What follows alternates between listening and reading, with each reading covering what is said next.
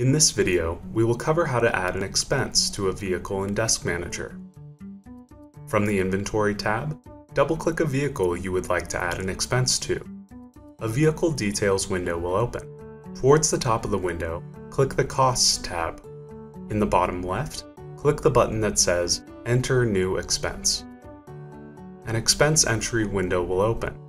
Here you can enter the details, the date of the expense, the vendor who this is being paid to, the due date, the category of the expense, such as service, purchase, recon, etc., the type of expense, such as cash, charge, refinance, etc., any notes,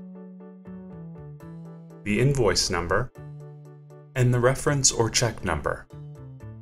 If you would like to add the expense to the vehicle's cost, click the corresponding checkbox. If you would like the expense sent over to QuickBooks, click the corresponding checkbox and the item will be sent the next time expenses are transferred to QuickBooks. The QuickBooks interface for Desk Manager is an additional module and is required to transfer expenses from Desk Manager to QuickBooks.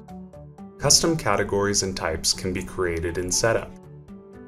First, click File, then Setup. In the list on the left, find Accounting. Then click the plus to the left to expand it. Click Expense and a list will appear on the right. To add a new category, click New in the top left, enter the name, and check the box if it is a reconditioning expense. Then click Save. To add a new expense type, under Accounting, click Payment Types.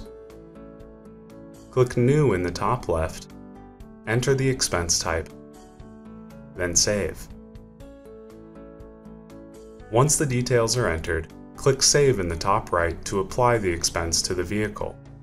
The details can be edited by double-clicking the expense from the Cost tab of the vehicle. You have now successfully added an expense to a vehicle in Desk Manager.